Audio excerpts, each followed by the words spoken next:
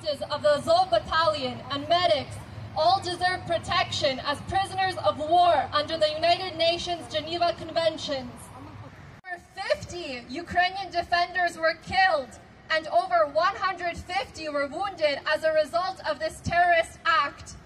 The committed terrorist act by Russia is a provocation to further cover up its war crimes and to cover up evidence of Russia's torture of Ukrainian prisoners of war.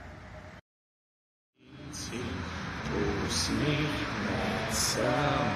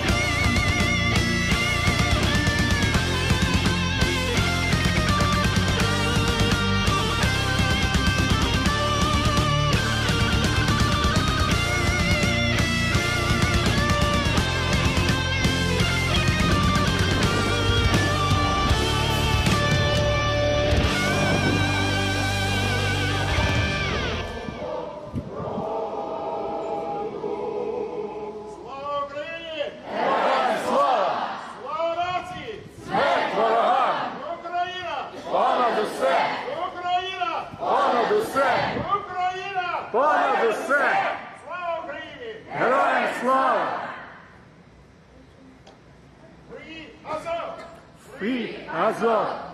Free Azov! Free Azov! Free Azov! Free Azov! Free Azov! Free Azov! Героям Slava!